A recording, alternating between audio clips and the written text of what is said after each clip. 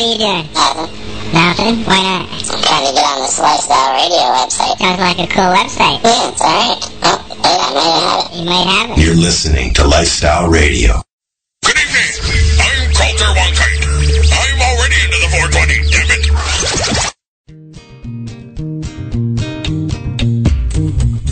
You like music, you like weed, well, we gonna be good friends indeed. This is not much I like more than smoking trees. They'll make you dance the do-si-do and teach you how the chiba grows. Smoke a bowl on the 420 radio show. On Lifestyle Radio. On the 420 radio show. Do you know who that is, Marcel? On Uh, hang on, Lifestyle hang on. Radio. Do you know? Do you know who that is, Marcel? That, that uh, uh, sang that song, uh, our, our little intro. That is Jim from the Royal Cook Band. Oh, is it? Yep. Uh, Did a good job. several years ago, I put a call out needing a little theme song, and Jim's Jim and uh, um, Matt have been on the show uh, several times, and uh, he whipped that up for me, and uh, we've been using it ever since. Yeah. So Cool. yeah, this is the 420 Radio Show. We're live, lifestyleradio.net. Come on in, say hello, and uh, let's talk about pot. Yeah. Yeah. Talk about all things cannabis. Oh, sorry. I'm sorry. Let's talk about marijuana. Let's talk about all things cannabis. Let's talk about the reason why everybody has a problem with the word marijuana. I don't. I do. Marijuana, weed, pot, smoke, dope. It's all the same. Not really. Mm, not really. Not when you look at the history where the word came from. Do you know? Do you know the history behind the word uh, marijuana, Brian? Um, I read it once, but it's been a long time, and I'm on um, hydrocodones right now, so don't ask me hard questions. Oh, this Oh. isn't. there you have it. Brian has been snorting his oxycodone together. no, I'm eating them. Now, come on. Now. Okay. Brian's been Pop- some. popping them like Pez's. He's been through some pretty nasty fucking uh, uh, surgery there, and uh, he's in a state that ain't legal. So, yeah, he's got to do whatever he's got to do. Deal. Yeah. Which really sucks because I would love to be smoking right now, which I do when I can find it, but the state's so freaking hard to find people to sell it to you. It's ridiculous. you're not getting the the the um what do you call it the uh Mexican swag. No, around here, everybody's uh, pot snobs now. There ain't no swag anywhere.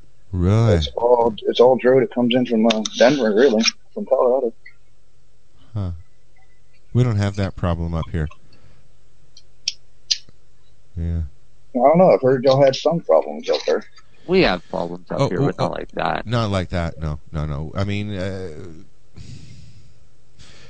Accessibility in this country is not an issue. no, it's really not. I, I mean, it, sometimes it's hard depending on where you live. Like I live in the middle of butt fuck nowhere. Well, here accessibility isn't an issue if you know the right people, but I've been out of the game so long, I don't know the right people no more. And I used to be the right person, so Then- that sort of screwed me up there. And being that you were the right person, yeah, and being that there are so many people in your state that could use your assistance, why don't you open up a dispensary? Man up. It's, it's just Get a lawyer.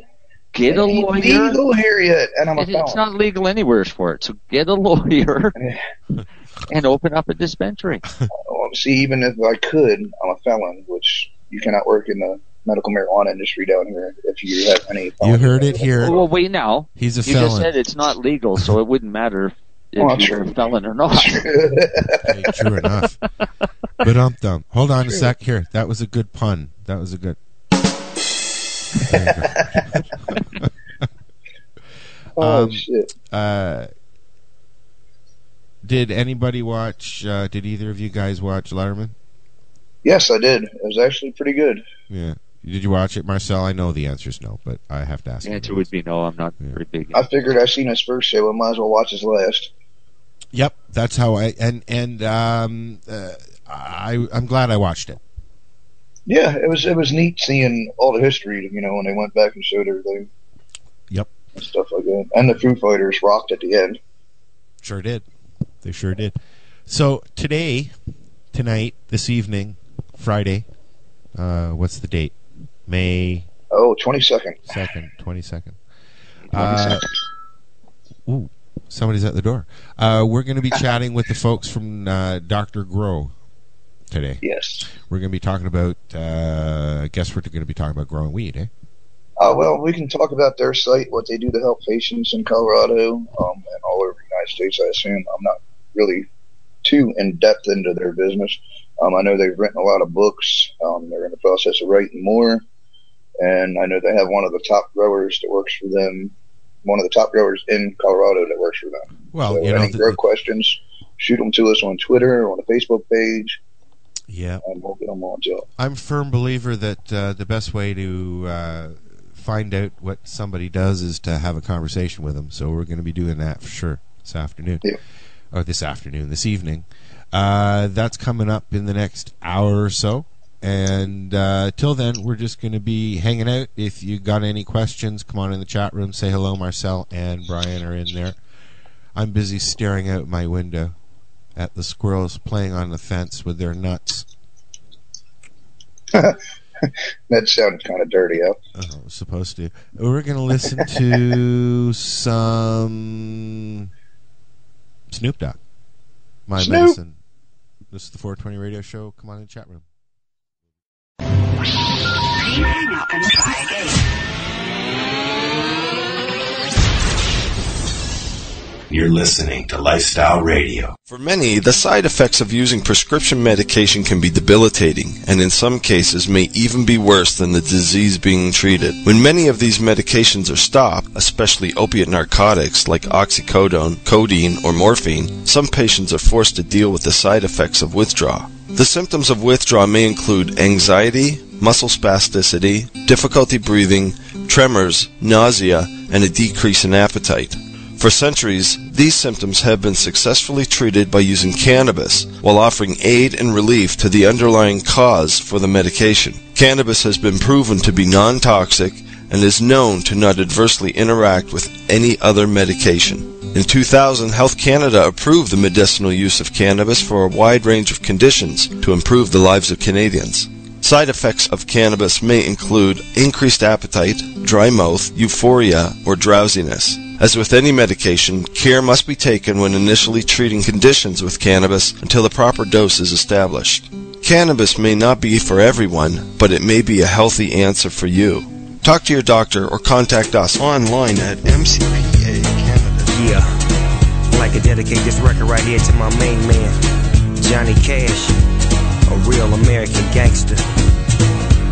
I got my nephew Whitey Ford on the guitar, Young Trev on the drums, Grand Ole Opry, here we come. Uh. Jack be nimble, Jack be quick. Jack took the spoon on the candlestick. Dope stick pimpin' on the one trick pony. Yeah, she kinda skinny, but she gets my money. Get my money, buy my medicine, buy my medicine, buy my medicine. Get my money, buy my medicine, buy my medicine, buy my medicine.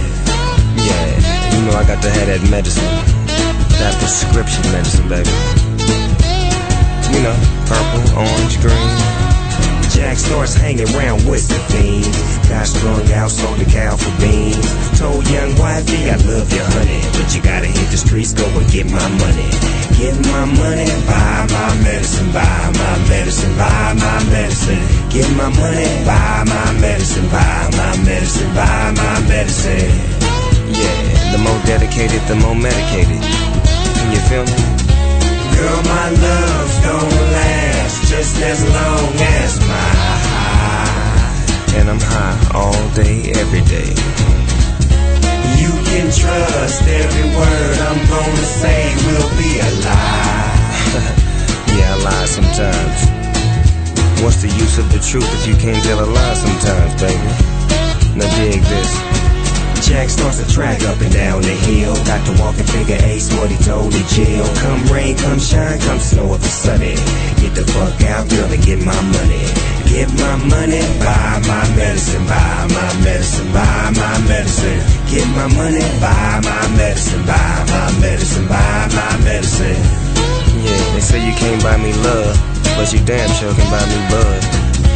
Girl, my love's gonna last just as long as my high. Oh, I'm so high right now. How about you? You can trust every word I'm gonna tell you is a lie. Liar, liar, pants on fire. Girl, I love you. I love you though.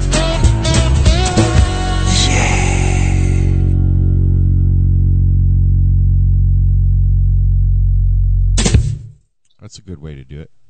Yeah. There we are. Okay. And I believe we are back, or we're almost back, or we're coming back soon. I've got my water, I've got a doobie, I got a roll. We're going to be talking with Dr. Grow. I wish I had a doobie. Now, who exactly are we speaking? I'll have one for you. Who who who are we actually speaking to tonight, Brian? Brian's the one that set this Um, up. we're speaking. I got to pull up the email. I know uh, it's Victoria, and I forget the gentleman's name, the grower himself. Could it be Justin? yes, Justin. That's it. speaking to Victoria and Justin. Um, pardon me for my absent-mindedness. Like I said, oxycodone are kicking in. This is the Excuse Show. Welcome to the Excuses Hey, Show. you have a total hip replacement to see if you don't need some. Uh, actually, my wife's had two total knee replacements and hip surgery, and she didn't use any of that crap. Well, you have cannabis. I don't. hey, look, hey, can I ask you a question there, Marcel? Sure. Does your wife smoke cannabis? I've never asked you that in all these years. I've never asked if your wife uses cannabis. Do bear shit in the woods. Okay, no, I was just curious. Now, does No, she? did- she she's actually licensed because of arthritis. okay, So Okay. she has her own license, and and she has me to rule for her. okay. That's cool. Yeah. I I don't know Well, why. not I- really. I roll fifty joints a friggin' day. all the conversations we've had, I, I am surprised I have not asked that. I, I, it's always dawned on me. I wonder, like you guys sit around and you, you puff together and you know you do the normal everyday medical pothead thing. Yeah, well, it's, it's, yeah. for us, it's it's more like two people sitting around smoking cigarettes, Yeah, Yeah. Yeah. right?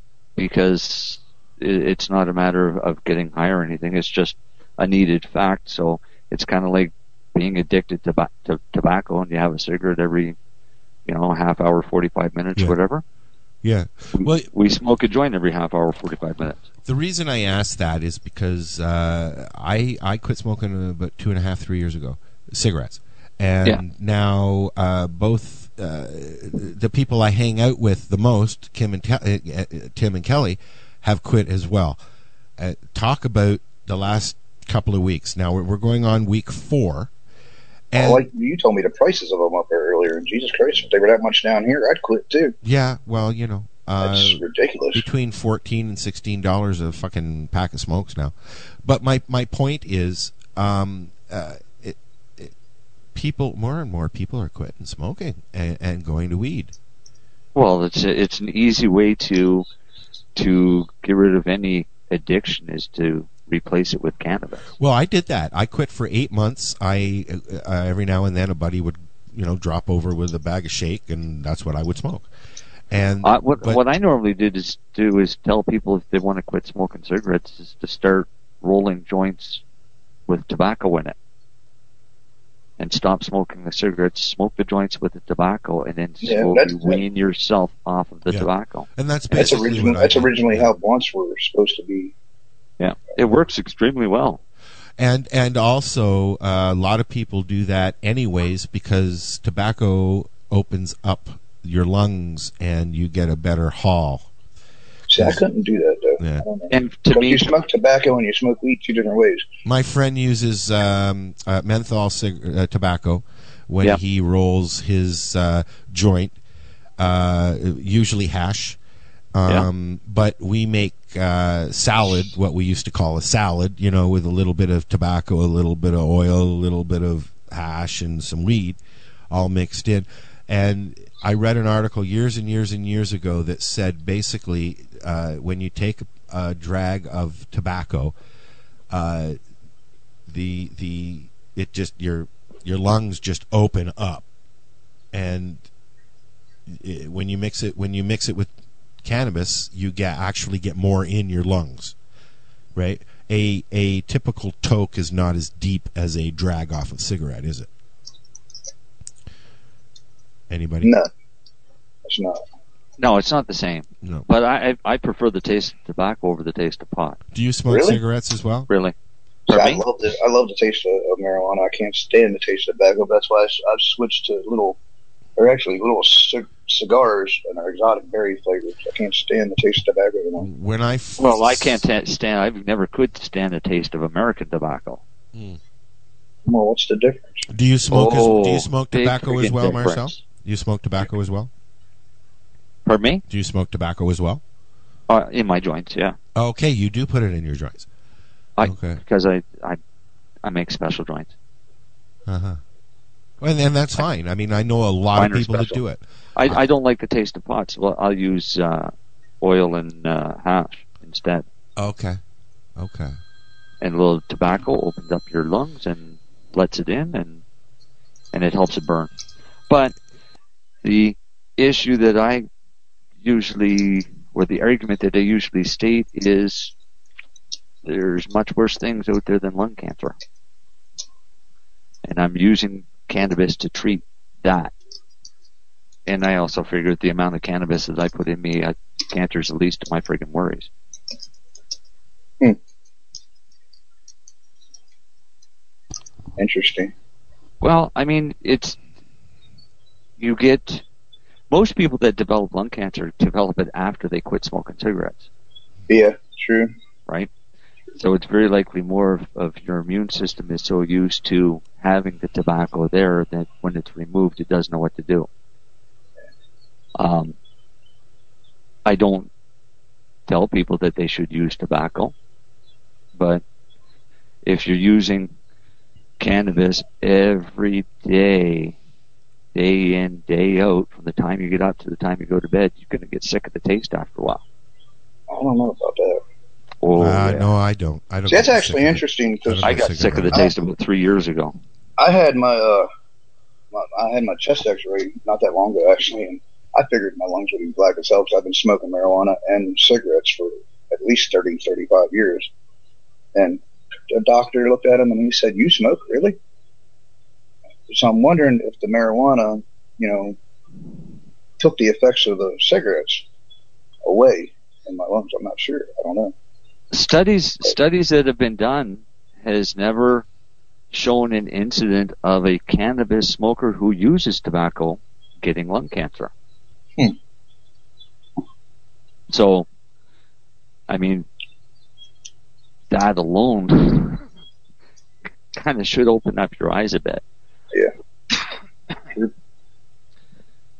Yeah. Um, Rick Simpson said at one time that uh, that the the amount of cannabinoids you'd be putting into your system when you're ingesting concentrated oils and things like that is more than the crap that you'd be putting it in through the solvents or tobacco or anything else. and that You would think that would be cleaner. that makes sense though. Yeah. Right. I mean, like, there is some truth to the carcinogen thing, right? With tobacco, yes. And with with uh, cannabis as well, there are a few. There, like, Oh, no, no, it's easy to say that it's carcinogenic, but Now, see, was was was marijuana? I heard that the carcinogens were coming from the way you smoked it. You know, with, Right. with And it's- papers or with bond it's papers. you know. it's it's. But the- again, it's easy to say that it's carcinogenic. The problem is, is proving it because it's never caused cancer. People don't get cancer from smoking pot. Well, no, they cure cancer. It's never happened. Okay. So every scientist in the world can say that yes, it's carcinogenic or it's creating carcinogenic compounds, but those carcinogenic compounds aren't causing cancer in the people that use them. So how carcinogenic are they? well, chlorophyll is not uh, all that great for your lungs. Pardon me? The chlorophyll in it is not all that great for your lungs. Well, chlorophyll's not either. What's that? Chlorophyll's not good for your stomach either. No, it's not. No. Right? Uh, so what- chlorophyll's a disgusting substance. Well, so so that's one bad thing. You know. Now, see that that's the part of the of the plant that's of the taste that I get tired of tasting. Is the I love the, Yeah. yeah, I love yeah. the different strains and the way they taste, but you can still taste the chlorophyll in it, and that's what I get tired of tasting. Huh. The Now I was just thing reading here in the chat room. Somebody, somebody made a comment. Oh yeah, Dale down there in the chat room. Oh yeah, Beta Geek says younger smokers don't hold it in as much or as long, if they even do. So let's talk about holding smoke in. Why do you hold I- the smoke in? I actually Uh, had a effects. problem with that. Is I- it? I, I had I a problem know. with that, a big problem with that when I was smoking because I was toking like I was smoking a cigarette, and I was holding my breath in until I literally passed out. And and that stems from enjoying super tokes, right? Now Well- see, everybody everybody's always been raised, you know, hold it in. No, but I was I was toking. why? What I'm saying is I was toking cigarettes. I wasn't smoking Yeah. them. I was toking That, them. that's just that's just from habit. But Yes. here's here's my question: Is why is everybody taught to hold it in? You don't need to. I know you don't need to. Good question. Yeah, you don't need to. You in and out is all you need. I'll tell you what what helps. So, is holding it in will actually help prevent coughing. Yeah, when you go. Right. So if you hold it in, it'll prevent. If you just take a toke and blow it, suck it in and blow it out, chances are pretty good you're going to cough up a lung. Yep. Because it's going to irritate that airway. Yep. Holding it in kind of alleviates that, but there is no reason to actually hold it in. Every breath you take, two thirds gets expelled unused. Every breath you take. I don't even start out. So if you think about this, if you take a toke on a joint, it doesn't matter how long you hold it, the most you're going to absorb is one third of what you inhaled. I heard it's three seconds Huh. is all you need. I had never heard that before. I had heard three seconds, a, a, a quick, is really all you need. Yeah, just It- to get it into the bottom of the lungs. Yeah. Yeah. Now, why is that? Why does it absorb so quickly? Uh, because your your lungs are, are made to suck the oxygen out of the air and feed the bloodstream. Yes. So it's grabbing the cannabinoids at the same time and feeding them directly into the bloodstream. Okay. Oh, All right. well, that's. So ingesting cannabis, you can you can take a capsule and ingest a whole capsule or a cookie or something, and it'll take you know 45 minutes before you start to feel the effects from that ingested dose. yes. If you take uh, But it's a- more intense, ain't it? it's different. It's not the same cerebral high as it is from smoking a joint. But if you took that oil or a tincture and you held it in your mouth, then your effects would kick in probably within 15 or 20 minutes. Uh, within five minutes for me because that's how I do it. I always do it sublingual. Always. Yeah. Right. Well, now, it's because you have your mouth has a nice aside fine mucous membrane to, to cross over into the bloodstream. aside from uh, rectally, okay, because we all know, well, we don't all know, but we, we're finding out that rectally that is actually the best way to absorb cannabis so quickly into your body, right? Right, and, and in massive amounts without any any uh, Any discomfort. effects. Yeah. Um, now, what is the best way to get cannabinoids into your system? Other than that, Other than rectally, would Smoking? be in, ingestion, not smoking it. not smoking it. What's the best? What's the best delivery system? Ingestion, So, or do you mean for smoking? For smoking, it would be a vape, wouldn't it? no, vaporizing. Well, But I mean, but again, it- the vape. It's so here's here's the issue is is when you're ingesting it, you're basically getting all of it into you in one shot. yes, yes, if and it can be very overwhelming. Pardon me. It can be very overwhelming at, at first. It can be very overwhelming. Yeah. But even if a you're lot of times it's overwhelming because it takes so long for the effects to kick in. You Well, it- eating more it, it, it you know what I've actually had I've I've gone through this process as Marcel knows. Uh, uh, Yeah, you've had a panic attack on the show before. I had a panic attack because because of the oil I was taking, and I took too much of it, and I thought I was having a heart attack, and I went to the hospital, and it was just a little too much for me to handle. because Yeah. I was I was ingesting it, I was smoking it, I was rubbing it, I was sticking up my ass, you know, and it was just too Or much. I could. I could feel Smoking, smoking, and vaporizing is the most inefficient way to use cannabis. inefficient way, Inefficient way. but it's the Now, why most, would vaporizing but it's the most pleasurable way. It well, Aside it's from the food. most pleasurable cerebrally. Yes, Yes. um, but it's the most in- inefficient way because every token two thirds of used, so it's Um, just wasted vapor. Please replay, uh, uh, repeat that because you broke up a little bit. Every toke that you take, Yes. you exhale two thirds unused, so that's wasted vapor. Now, if you hold it in a little longer, do you get more? Nope, Why? Because you're only going to get the two thirds or the one So- third of it. So all these years that I've been enjoying super tokes, I've actually been into uh, asphyxiation, not Right, getting me really too, high. huh? Yes, yeah. Uh, you you you basically oxygen deprivation, but more importantly, holding it in, you're also allowing the the tars to attach to the lung linings, Okay, okay. right? Because And- you're letting it hang around in there, just waiting to hold on to something. And that right there is why Marcel is sitting here with us every Friday night. Yeah. That's right. Yep. Yep. It's Um, science, bitch. it's science, bitch. So He's listen. the technical scientific. Well, hey, you know what? I I like to have uh, people who know, uh, you know, in different things, doing different things that know what they're doing, and and patience is what Marcel does. So that's what he takes care of. Um, I want to listen to some some Big Smo Me too. and uh, with Alex, Alexander King. This is my neighbors. We're going to be right back. I got to call my mom because she called, and this is the 420 Radio Show. We are live on Lifestyle Radio. Hey man, this your neighbor over here, man. Bill. I don't know what y'all think y'all got going on over there. See Chuck Taylor pulling in, man. Oh, Chuck full of wood. But don't y'all have that music up past 9.30. We got an ordinance right here, and I ain't having it. I said this one here's for anybody with a neighbor that's kind of a busybody. Always complain about the music and the smoke, the sound of your exhaust or your broke down boat. Bonfires full of your kinfolk where the shine is cold and the whiskey flows. Your neighbors know you can't get no higher one time real loud. I said the roof, I said the roof's on fire. Now it's just barbecue and jambalaya. Hellfire, put smoke in the wind. Go to sleep, wake up, do it all again. Even though my neighbors ain't nowhere near. Smoke so loud, I know they hear. And I don't give a damn if you think I'm wrong. My neighbors know I get stoned. My neighbors know I drink beer.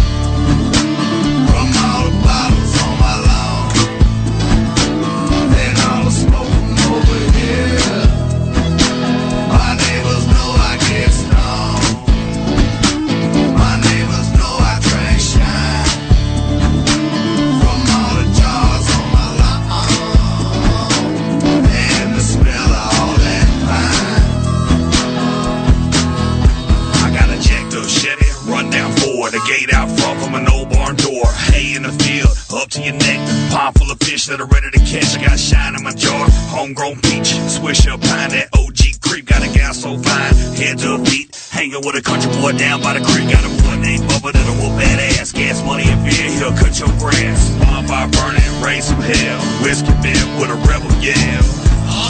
Bring 'em on in, Monday to Sunday,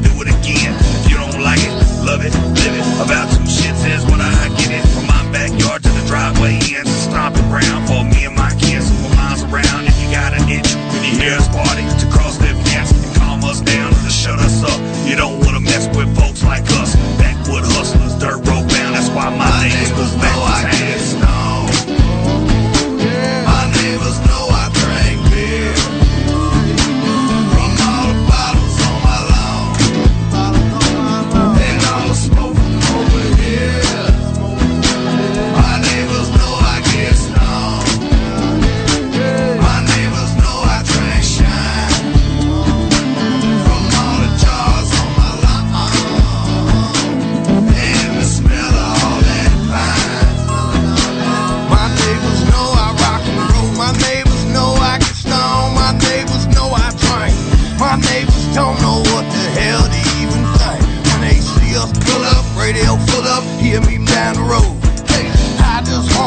my neighbors know I ain't going nowhere. Go to home association, still trying to ban me. I know my neighbor on this side and that side, and the front and back can't stand me, but I don't give a damn. Me and the fam, always on the front yard barbecuing, complaining about the noise. Me and the boys, always on the back porch making music. You know my neighbor. Yeah, I know your name. Man, you know my neighbor. Hey, I know your name. Well, if you know my neighbor, you know my neighbor.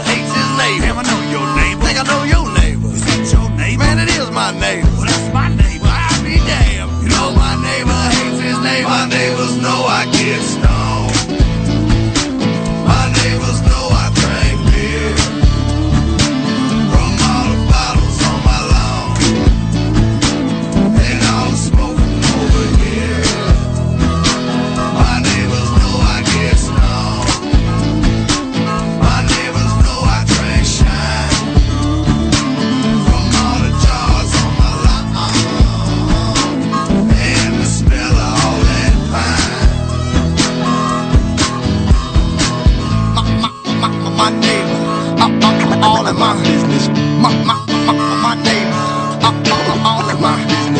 all in my business. All in my business. My, my, my, my neighbors, all in my business. Sending ass over here into my swimming pool and got um, my kids all got 'em. That was Big Smo. Anyways, it's the 420 radio show. We're live at lifestyleradio.net. I'm in the chat room now. Come on in and say hello. Hi, how are you? don't don't do that because I'll make fun of you if you do. you just just come in and ask ask your questions and say hi. If you sound like that, I'm going to make fun of you. Okay? Marcel is our staff bully. I'm not a bully. Meanie. Already chased Ellen away tonight. Sheesh. Yeah, she's not feeling well. She's got a migraine, but she's listening. So how can we insult her? Tell, her, tell the truth and admit that she doesn't have a migraine and she's just hung over again. She's Oh. she's drinking all day again. Uh, drinking again. anyway, Yeah, we're, Oh, we're, we're dead. um, Oh, look out. She's in the chat room. I think we're gonna need a new news girl. uh oh. Crap. I just heard something. Oh God, she's Is- back. Yeah, she checked in to see if we're working. Nah, we took the night off. Yeah. We'd rather not work. We would rather just sit around, smoke joints, and talk. Okay, well we're doing that. So I'm watching. Uh, what do you think of this Duggar shit? I think it's hilarious because they they live right down the street from me. Are you serious? Yeah, they live in Springdale, Arkansas. It's about a 15 minute drive. And uh, explain You have, this have whole you gone to visit them? Hell no. Do you, I don't. Dude. I, I've never heard of it. I heard about it this morning. What the fuck is up? Um, I guess one of the sons, when he was a teenager, he uh, molested some girls, and he was going to run for president or something, and he was on a board for uh, some family um, family uh, outcry crisis thing in D.C. And the news came back that you know they found out that when he was a teenager, he had molested some girls, and it was pretty much all brushed under the table because of the show and Because because it was they're his famous. So it's coming up to bite him in the ass now. Even Mama June's pissed off. Well, there's Mama June says what they did is way worse than what uh, that uh, her family did. You know. Yeah. So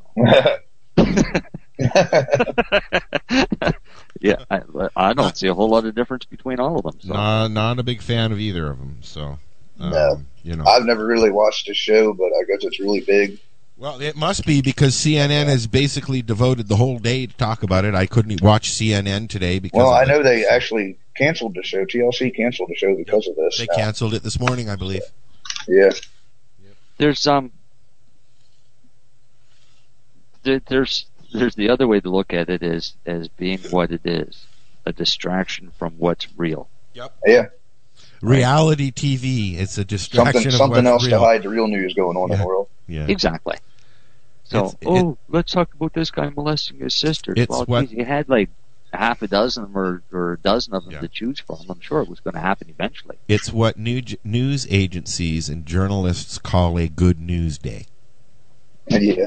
yeah because they can they don't have to tell anybody the truth they can just feed them sheeple bullshit to keep them entertained They don't have to talk about the people being shot in the streets. They don't have to talk about the bombs going off in Iraq and Iran. Yeah.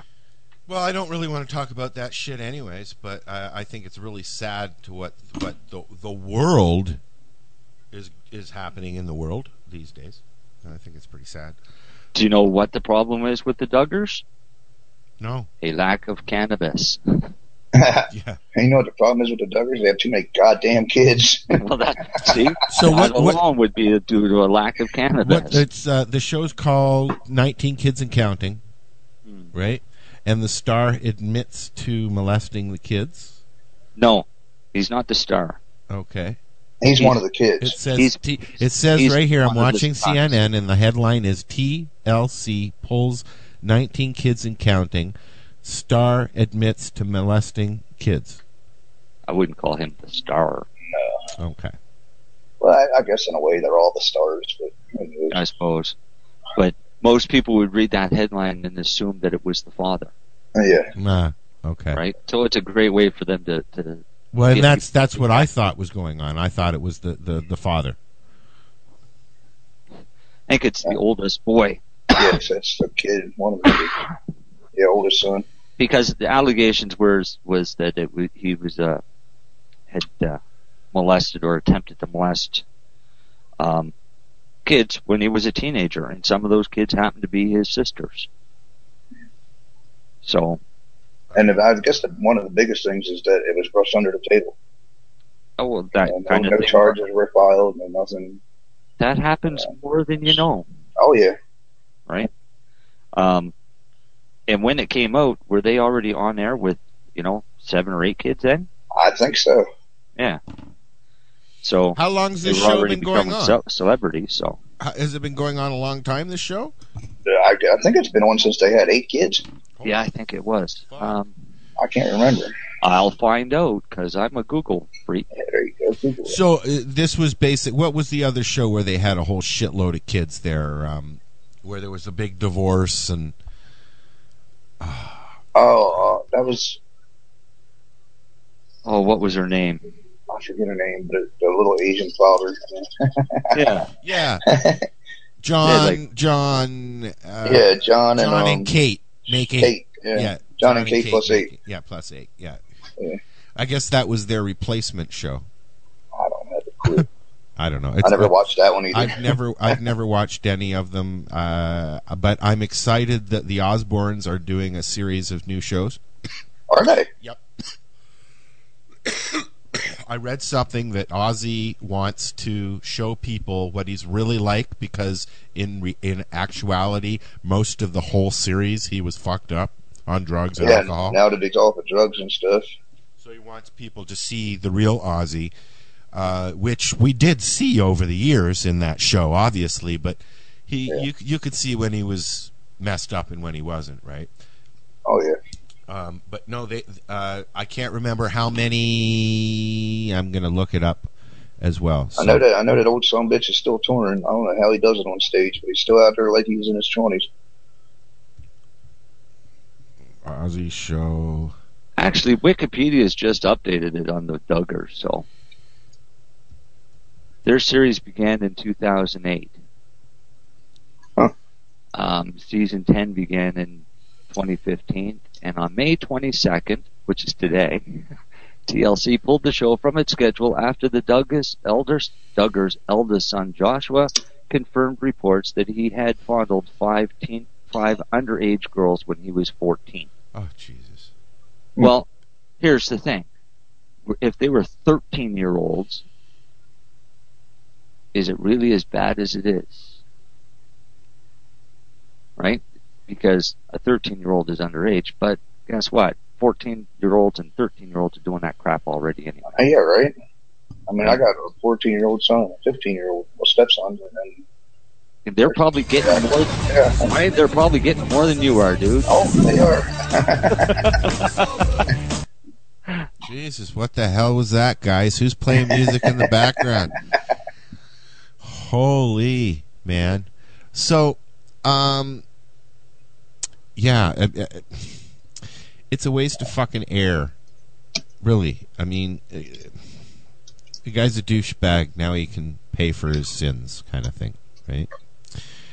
Uh, I loaded up something here about Ozzy, and but uh, then music came on, so I closed it, and I don't feel like looking. I, I got a question. You you followed this one, Al. Yeah. What's this about Robert Daltrey? He wanted to cancel the concert because somebody was smoking marijuana at the somebody i guess somebody was smoking or several people were smoking i don't know that detail but uh, there was mar- marijuana smoke i guess he smelt some smoke while he was performing and he said if you don't cut that out we're going to quit the show um, and then uh, pete Townshend said uh, that's not you know that's not the well hey you know what i could play it but then i get in Well, trouble see, what, what amazes me is they're the Who. I always thought they were a bunch of stoners, uh, uh, uh, but I guess Rogers I very get- allergic to the. he's very to allergic marijuana to the stuff. it it it's, it constricts his vocal cords or something like that and he was very Well, it makes serious me wonder but- if he's just becoming a crybaby in his old age. Is he one of those guys who says, I can't because I'm allergic? yeah. i don't know i don't know i'm looking for the article now and i can't find it obviously to get the actual details because uh, i'm a bonehead and i don't put stuff aside like i should Uh, it it says uh, Daltrey is apparently very allergic to pot smoke, and the mere presence of it causes his voice to shut down. Yep. I don't get that, but okay. So I guess it affects him like a bee sting. He needs a fucking needle to stick in his arm when he's done. I don't know. I guess Fuck, you're the Who. Your main thing was sex, drugs, and rock and roll back in the '60s.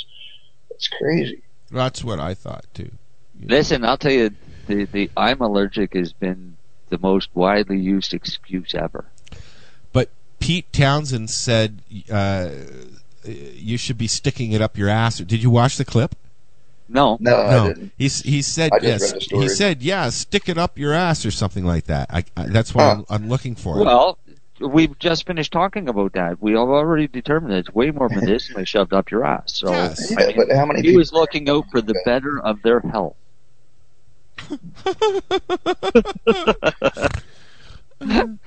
don't listen if you're listening and you're thinking about using cannabis rectally. Don't shove joints up your ass. Okay, it won't work that way. And don't shove a joint up your ass and get your friend to light it, thinking that will. All right, there. I found I found the article on Billboard.com, Oh and it says, uh, let's see here. Oh, we can't play it. They've taken the video down. Oh, you broke it. Some bitch. Darn. Okay, so That's your fault. You did Uh, that. let me read this real quick. Uh, the Who's Roger Daltrey has a special message for a fan who is smoking marijuana, marijuana, marijuana, marijuana, marijuana at Smack. a, at a recent uh, concert. Stop. uh, when the band took the stage at Nassau Coliseum in New York on Wednesday, the legendary band's frontman called out the person in, the, in a video posted online. The show will be over, he tells the person. It's your choice. I can't do anything about it. I'm doing my best. After, uh, after other audience members shout out, Eat It, Pete Townshend also got in on the action with a rather colorful remark immediately after the incident.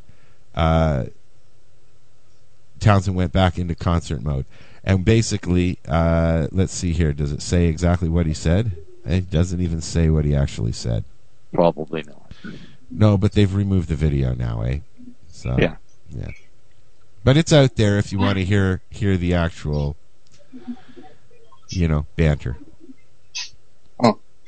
I don't know if I would go see the Who. I, I I've never seen them to date. They're not one of my favorite bands. Yeah, the only thing I really think was I Well, I, let me finish what I was going to say. Um, they're not one of my favorite bands, but back in the day when I was doing What's Up Toronto magazine, uh, which we're doing again at What's Up Toronto mag, What's Up Tour, What's Up Tour mag.info is what it is. But anyways, we went to the opening night in Toronto of Cirque du Soleil. It was the first time they ever did uh, a big tent and everything down in Ontario Place, and I actually sat beside Pete Townshend because they were performing with him. Uh, later on down the road, and he was there to see the show. And they brought him in uh, just after the lights went down. All of a sudden, people appeared beside me, and I looked over, and I was kind of at awe. Never said anything to him. When the just before intermission came, they shucked him out into the private area, and then they did that again. But um, yeah, he's a very he's a very large, tall man. Interesting. That's crazy. I like their music. I I grew up with it. I like their music, but I mean, like, uh, there are some of the songs that I like and some of the songs I don't like. Uh, but the same goes for the Beatles. So, you know. Yeah, I'm the same way. I like some Beatles songs. That I, I won't say that I'm a big Beatles fan. I got a question for people. Beatles. I'm a huge Beatles fan. I got a question for people, and there's only one person in the chat room, and I know that Dale will answer. Hi, Dale. Uh, what? one. What? Uh, yeah, there, there's one listener, and Ellen, and Oh no, us. Ellen's listen.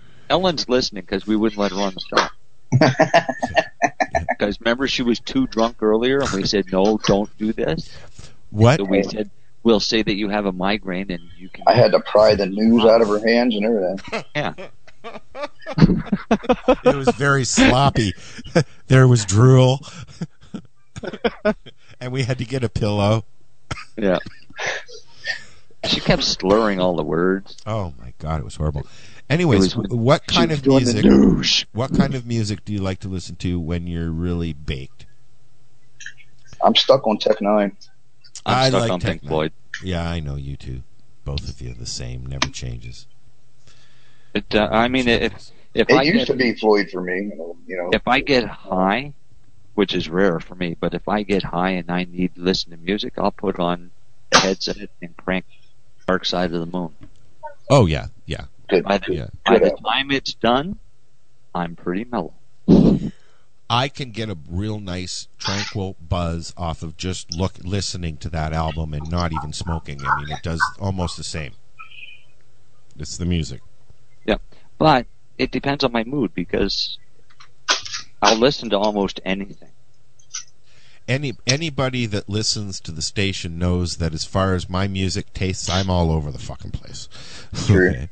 Uh, I basically am too, but lately I, I've been stuck on Tech N9ne's new album for past like a month.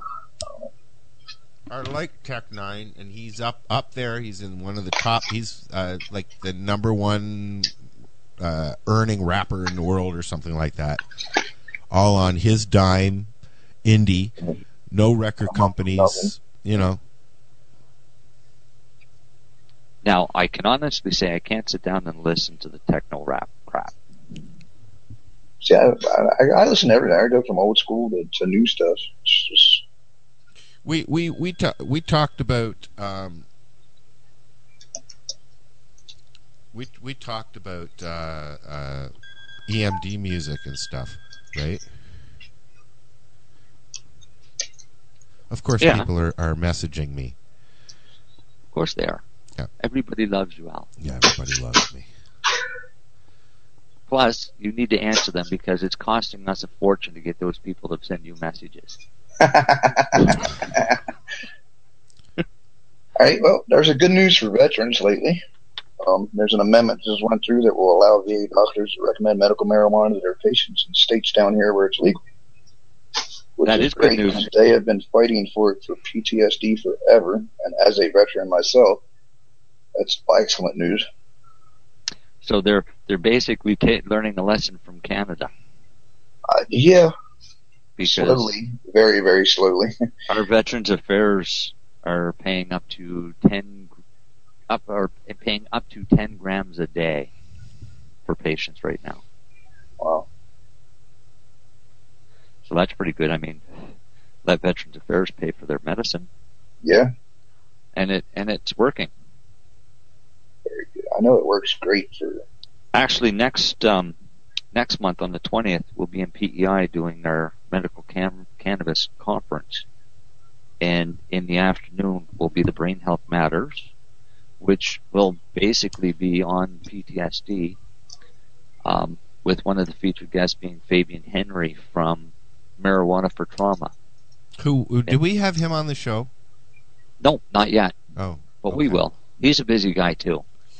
Um, we had Trev Bungay who does something similar. Okay.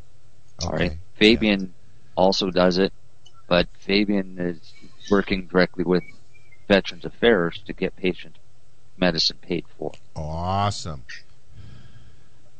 That's So it's- awesome. It's a big plus for for the veterans. Cool. Cool. Well, we'll have to get him on the show sometime. Uh, uh, Uh, Illinois, anybody in Illinois, uh, marijuana was just decriminalized. Um, they're still working on the wording and stuff, but you won't get locked up for it anymore if you got small amounts, 15 grams or less. There's just going to be a fine and a traffic ticket. So they're slowly Well, moving it's a- ahead on it's a that. start. Yeah. It's baby steps. Yep. And that, that's, you know, compared to how it was here 10 years ago, Yeah, but I mean, it, 80 years of prohibition, it's not going to change overnight. Nope. So we've got to go. although alcohol did. Down here, anyway. Dr. Grow has entered the chat room. Yes, Victoria from Dr. Grow is in the chat room. The doctor is in the house. She's waiting for Justin to get there. I guess uh, where he works, harvests over 100,000 grams a day. Wow. That's a lot.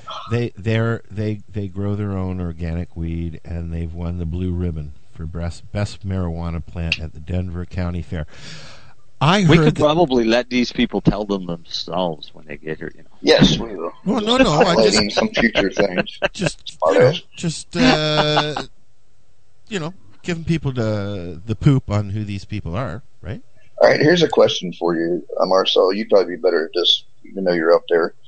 What is your opinion on states down here that are legalizing medical marijuana, but for CBDs only, or CBCs only? I think they're stupid. In Yeah, all Texas, Texas just put in a bill, and they want it to be 0.3 or less THC. And what we're finding here is that patients that have been using CBD only, especially in their kids for epilepsy, after a while it no longer works. They give them whole plant cannabinoids, or like an oil made even with a low THC, but at least some THC in it, and it seems to be working again for them. Um, Very cool. So CBD only CBD only legislation is a great ploy to, to get it in, but it's going to be really sucky for the people that are stuck with it. Yeah, there's actually quite a few states down here There that are are doing it that way, and I there think are people picking up their fucking lives and moving for that. Yeah. Okay. Why? Why is this the like? I mean, I've heard, I've heard that before, obviously, but why aren't people telling? You know, speaking up about that? They are, but the people ain't listening. These are really tight Republican states. Well, you know what? that Um, are in the Bible A Belt. lot of a lot of money is being put into promoting CBD only oil, yeah, I know. I, right? Um, and the problem is, is that's only that or that's really great if your issue is a deficiency in your endocannabinoid system of CBDs. But what if it's one of the other cannabinoids that you actually need? That's a right? good question. So, in all honesty, whole plant extract is still always going to be your best alternative because you're going to get all of the available cannabinoids. That's like New York. They got their bill passed in 2014, which I don't even understand it. But you're allowed a 30 day supply of non smokable marijuana. Non, okay, wait, wait, wait, wait, wait, wait, wait, wait. Non smokable? Yeah, I totally don't understand it, but that's. Let me go down Right, and see non- if I can find. Non-smokable marijuana would have to be Oil. you would think edibles, but oh, oil is smokable. Uh, It would have to be cookies and candies, um, maybe tinctures. That uh, oh, you can sm- you can smoke a tincture. I've I've done it. Yeah, we should. and you can smoke emulsions, but you shouldn't. Yeah. Um, but really, it's it's your edibles that would be the only thing that would be considered non-smokable. it doesn't really go into it right now. But if I go to the website, I can pull it up. But I just thought that was ridiculous when I read that over. I'm like, I've not. I didn't hear that. I never heard that. Yeah, I, I got a list of the states. You got Alaska, possession limit, one ounce usable, six plants, three mature, three immature. You know, I got a whole list of different states and what the laws are. It's just crazy. And some of the laws that are out there that they're actually passing just to get something going, you know, which is a start, but still, you know, it's not the right start, in No. my opinion. No, and it's people grasping at straws to get whatever laws they can pass to at least get a start, but it could backfire on them. Oh yes, it could. So, um, uh, uh, Kelly says, uh, "Hi, hi, Brian," and uh, she Hi, misses Kelly. you.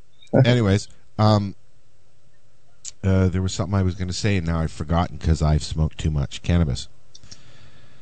Well, how about we take a break, play a song, and then we can give uh, Victoria a call. That's what I. That's that's that's what I was going to say. We'll be right back. This is the Killing Time Band with uh, "It Doesn't Make Sense." Right here on the 420 Radio Show live, lifestyleradio.net. Come on in the chat room, ask your questions, or tweet us.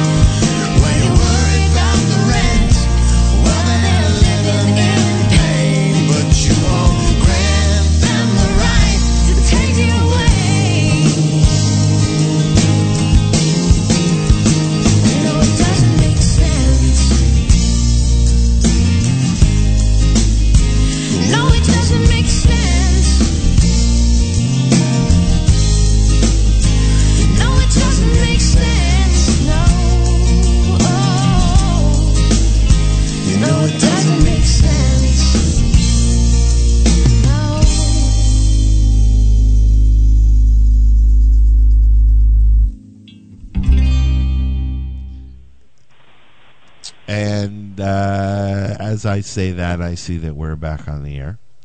And we have been joined by Victoria from uh, Dr. Grow. And Justin Hello. will be along with us shortly. He just pulled into the driveway, I hear. Yes, he'll be he'll be here in just a minute. No rush. He actually he actually had to go take a leak before after he comes Uh, in. that's okay. I forgot. It's a long drive. It is. A, it, It's a it's a long drive from where he works. Oh, okay. Um, so maybe you can you can uh, while we're waiting for him to, to get comfy, maybe you could explain to me what you folks do and and uh, all that stuff.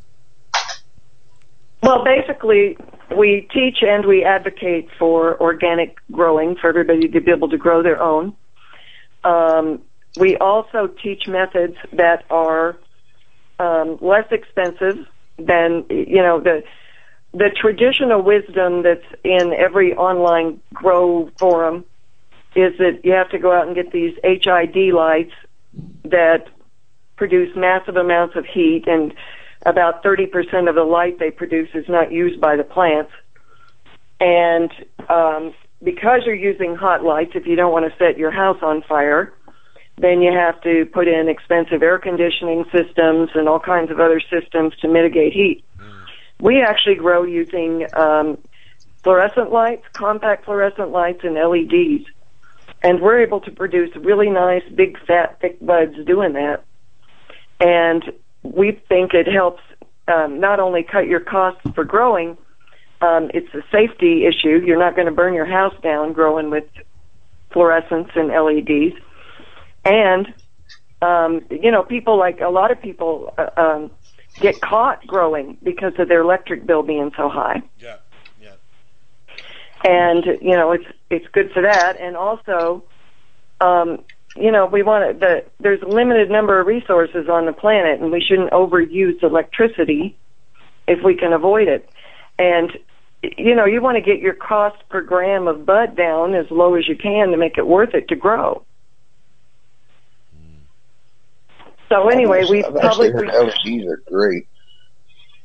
yeah, we we we've been using. Uh, Justin just walked in, so he's going to pitch in here too. Um, we've been using LEDs for a while, and he's just completing um, some full grows with LEDs, and he really likes them. What kind of yield are you getting from LEDs?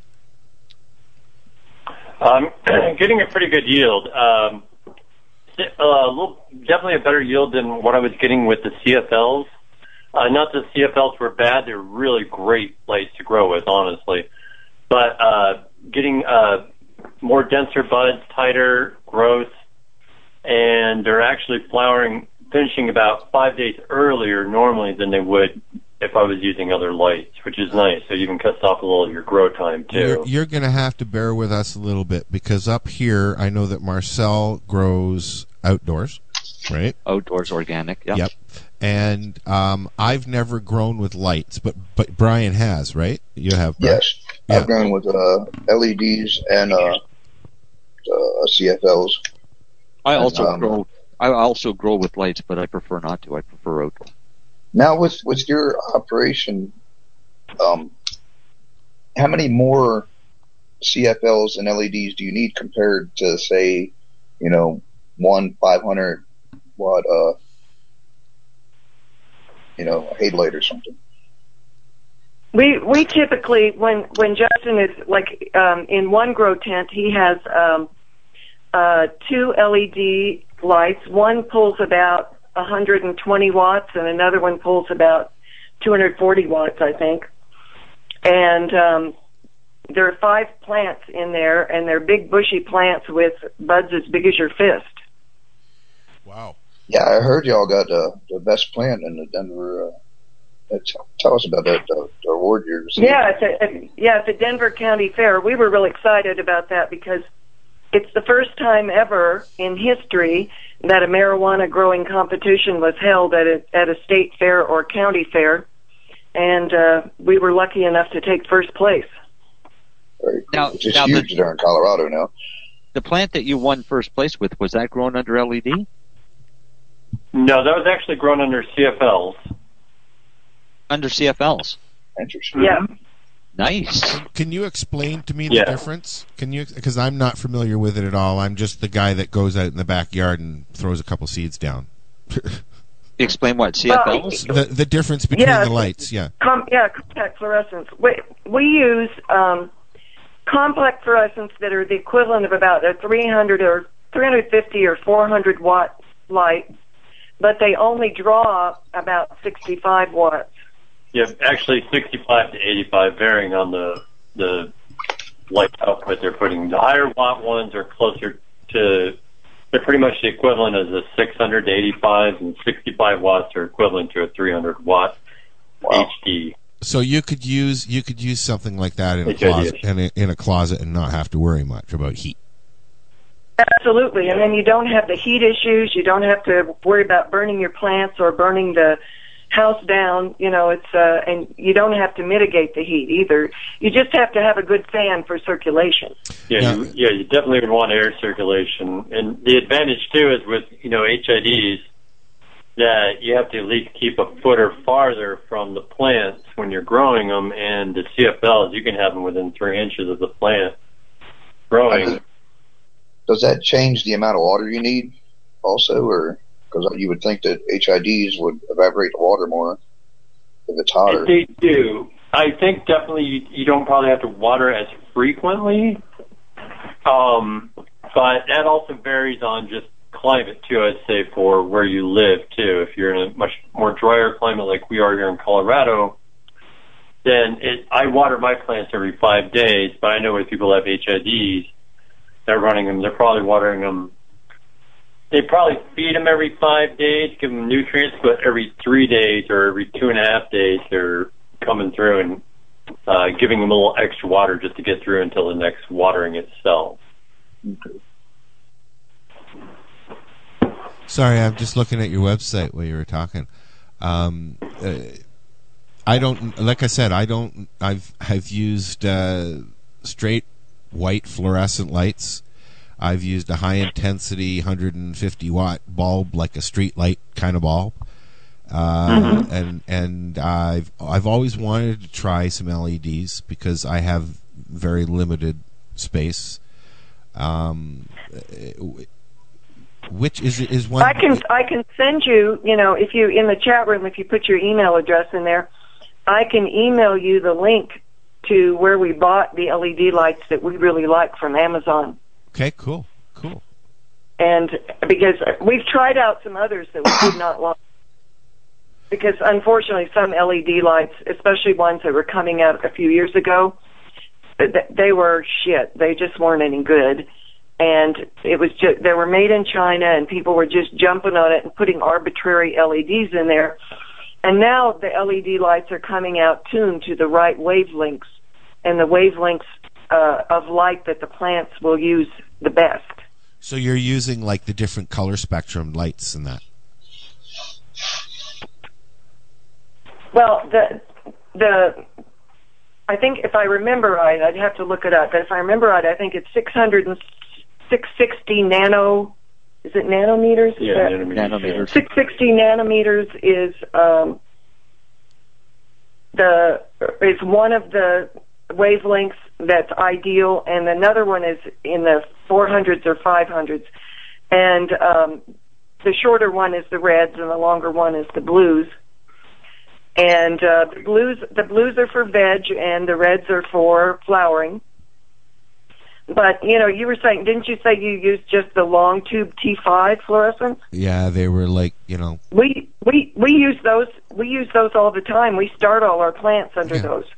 Well, I, I I've seen video of you know a, a whole time framed video of somebody taking the time to do everything right and actually growing with just regular regular old fluorescent bulbs, and uh, they don't get a huge yield, but they get some nice growth. Yeah, Oh, you can. And for the for the veg growth for the veg stage, you can use those long tube. They're called T5s. Okay. You can use the T5 fluorescent lights. Uh, clear up until you put them into flowering if you want. Yeah, and just to clarify too, the T5s are the ones that are the really small ones, about the si- diameter of a dime, and the T8s are the big ones that you see like up in businesses, like if you go into a grocery store or something like that. Those are the long, long ones too, but they're a little larger. They're the normal standard. So you can use T8s or T5s, right? Right. I would suggest T5s because you you actually get a little higher output of light from them personally than you do and you get a T8. lower you get a lower output of heat.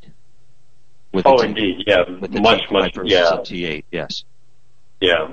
So in a closet, I normally recommend patients here that want to keep a plant or two in a closet to use CFLs and, and to use uh, fluorescent tubes because it, Yeah, and that's and that's ideal. That's And it- ideal. it keeps down the heat. So I've showed people how to take light fixtures and mount them on a board so you can put light bulbs all the way up I've the board. done that. Yep, yep, yep. Oh, Right. perfect. Yeah, that's perfect. That's perfect. So then you can have them standing in the corners in the room and then fluorescent Mm-hmm. tube over the top. Everything gets fully lit all through veg. Now, uh, Yeah, that's that's great. Yeah, that's nice, especially if you can get the the lower branches lit that way. what is what is your average setup for a closet cost these days with the new lights that are out? Is it more expensive? If if you're using CFLs, you can do a closet grow for less than two hundred bucks. You can probably do Oh, it yeah. for a hundred dollars. I'd say, I'd say yeah, 100, 150. That would be 200 Canadian. Yeah. Yeah. Oh, okay. yeah, but you know, for getting your pot soil, you got your lights, you got your timer, your power strip, nutrients, everything. It it can be very. You can do it for very much a lot cheaper than what most people are doing. One of my coworkers is like, "Man, I just need three thousand dollars or a grow box to be able to grow weed." And me and a couple other people were like, "Why would you need that much money? That's just ridiculous. That's Yeah. a waste of time and money." Well, the problem is too. There's again, like I said, the myth in the growing community, and uh, I've seen two different articles on the Denver Post when they were running articles about growing, and and they asked other people who were master growers, you know, how much how much should somebody expect to spend to start a grow, and they all said, you know, three to five thousand dollars, and that's absurd. In Colorado, you're only allowed to grow six plants, and only three can be in flowering at any time. You can go buy weed at full price for less than it's going to cost you to grow it if you're going to spend three to five grand for a grow setup. But we can get people set up for 150 bucks. Wow. Yeah, I, I've never even, I've never asked anybody this. I know Marcel grows organically and y'all grow organically. What's the difference between growing organically and a regular grow? Great question. Uh, difference really comes down to, I think, overall, is the uh, really of the finished product there. Uh, with synthetic nutrients, you can definitely grow really great, wonderful plants and get really good yields out of it. Uh, the biggest thing I, I see that a lot of people do uh, is accidentally over fertilize their plants most of the time if they're using synthetics and they don't flush the plants in the end. With uh, organics, you have a lot less of a chance. You, I mean, you can still over fertilize them. Don't get me wrong; you can definitely do that, but it, it's a little harder to over fertilize them, and you get a lot better balance in nutrients. So if someone wasn't to flush at the end, uh, which I would highly recommend they do, but if they were not to, you wouldn't have as much of a harsh taste and flavor, and you know, end with uh, the finished product with the flowers when you're finishing with them. Another thing I've noticed is people, other people I know who smoke, um, have told me because I mean we just do organic and we always share. We we we give a lot of our weed away um, that we grow, and people tell us that they can tell a huge difference because they tend to almost have something akin to a hangover after they've smoked non-organic weed because of the chemicals that are in there and they never get the hangover with it with good clean organic weed. Interesting. Marcel, is that the same up there? Or? For me, uh, I only smoke organic because if it's grown with any, yeah, and that doesn't matter how good you are at flushing it. If it's grown with synthetic chemicals and fertilizers, I choke. I choke anyways. Me too. Yeah, it's still there. It's definitely present, unfortunately. And and part and part of the reason, I mean, I use it recreationally for sure, but I also use it. I have a an inherited neuromuscular disease, um, and it's a hereditary neuropathy, and I get really bad pain, nerve pain, in my my arms and hands and my legs and my feet. And I find that if I if I smoke organic weed for it, it really helps. But if I smoke uh, weed that has chemicals in it, um, I get other things. I'll get a headache, and or I you know I have other other after effects from it. And I've already got a lot of pain. I don't need any more. Yeah. Okay. Understandable. Uh, question in the grow room. Um, surge protectors for the LEDs. Surge Yes, protectors with LEDs. Yeah, I use surge protectors for all my lights. Um, I have read their stories of some people that are, you know, are very animate about it. You know, I I definitely, no matter if you're even using the CFLs, I would still use a surge protector. You just don't want to blow out your lights at all. You can help it. Uh, I think it's a really smart thing to have, and you know, also you can lose your timer on that too. Which I mean, it it's not a huge cost, but that can be a cost that you don't account for or want to have to replace immediately if you get a bad lightning storm or just a power surge in the power lines that just you know fries everything and you have to re- recoup everything and restart over. And Justin also uses um, a CO2. Uh, what do you call that cylinder? Oh yeah, um, a CO2. I use uh, CO2. I use a regulator and a CO2 tank also. And he's got that on the same timer with the lights because uh, plants won't uptake CO2 in the dark. They'll only uptake the uptake the CO2 in the light. So he has um, his CO2 regulator on the same timer with the lights. So you know it's good to protect all that stuff. And for people that don't know, uh, can you explain what a CO2 regulator is? Oh yes, definitely. Uh, what a CO2 regulator is, it's a uh, piece of um, metal. It's, it looks like a bunch of pipe fittings have been put together with a knob and a couple of gauges on it. And what it does is it, it helps uh, release the CO2 gas that is in the, the tank, the canister tank there, into the grow room during intervals of the flowering period for the plant there. And you can definitely increase your yields by 20 to 30 percent at least if you're able to have a regulator in there. And with the timer that I use, that it goes off, I have it go off every two and oh, a little over two hours, like every two two and two hours and 45 minutes uh, throughout the day. From when the lights come on, it comes on immediately with the lights, and then it goes throughout the day. And then it, uh, when the lights and everything shut off, then the machine will, or the tank shuts off, and it's not releasing gas anymore into the grow. Until the lights come on again, right? Right. That way you're not just leaking CO2 into your house continuously or anything like that. Uh, um, tell us a little bit about your, your grow school you have. Uh, um, what kind of classes do you have, and how much does it cost, and stuff like Well, that? we've we've at, we've designed the classes, but we haven't actually got a space to offer them in yet. So the classes we've been giving so far is just go to somebody's house and teach it when they have people together. But uh, when we get the money, we're going to um, open a you know a physical space that's a grow school. We te- we have uh, a few classes. One is um, basically growing 101, the basics of how to start your grow and and we really emphasize things like um, grow room hygiene and sanitation so that you don't end up with problems with powdery mildew and spider mites and all that crap. Powdery mildew. now there's some. Pardon? Powdery mildew. Powdery mildew. Are you Powdery familiar with that? No, it's just it's a horrible. It, it- yeah, I am. Yeah. Yeah, it's yeah, it's it's an awful insidious thing that that really screws up a grow. Yeah. And and in fact, one of the things Justin has found working in the commercial grows is that almost all the commercial grows have some powdery mildew in them because they haven't figured out how to control them in grows that large.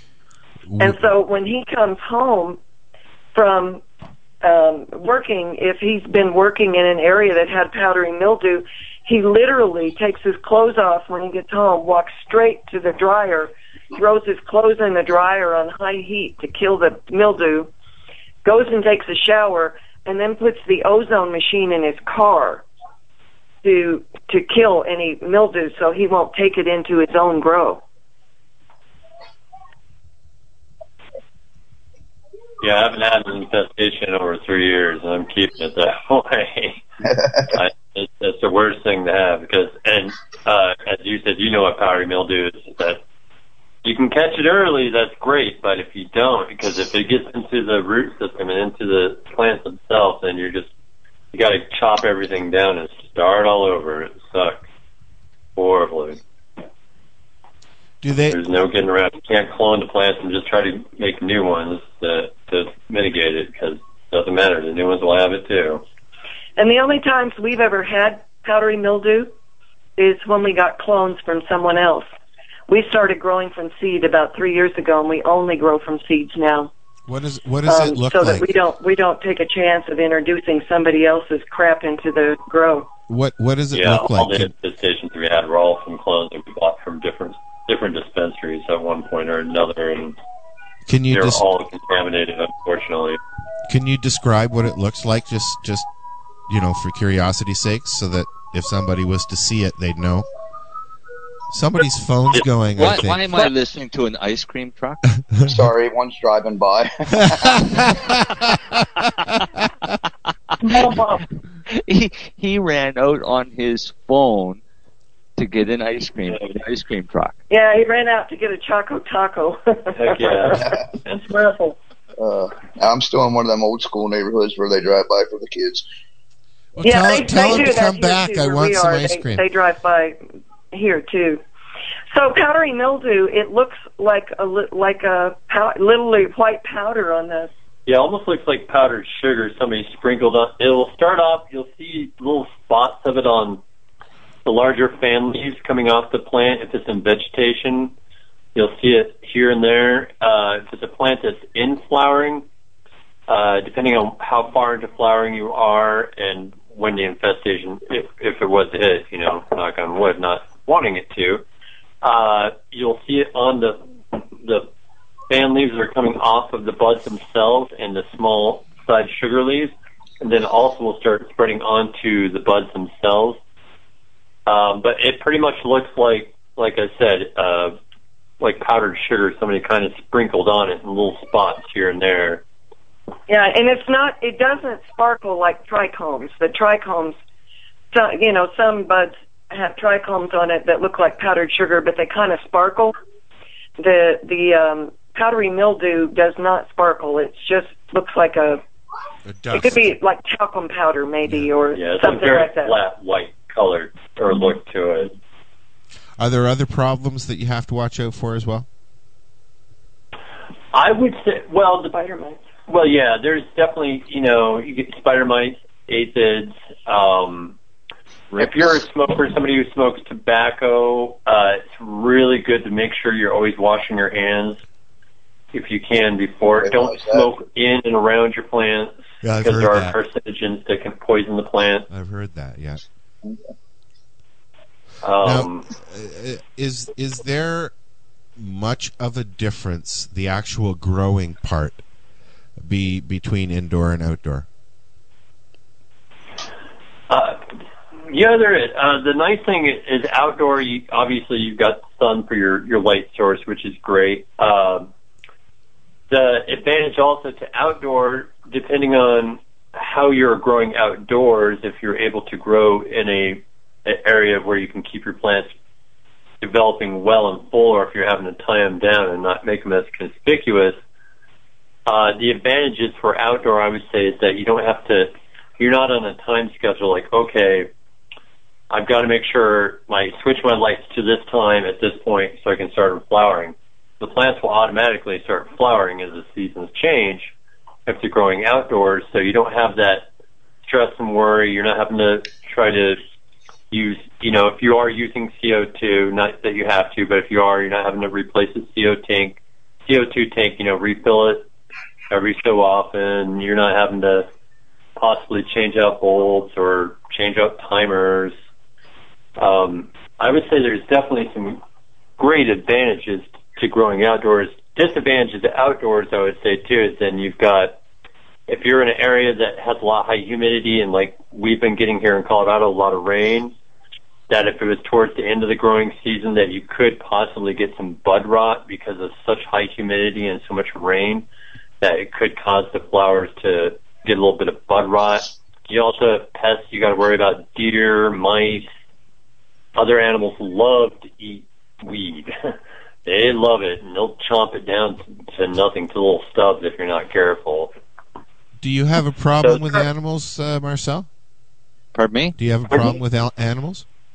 Just the two-legged ones, and that stopped last year. Yeah, Mine- see, see here, here in Colorado, it's illegal to grow outdoors, and the main reason is because of the two-legged ones, um, and it's because they require us to grow in a way that nobody can happen along your grow and get access to it.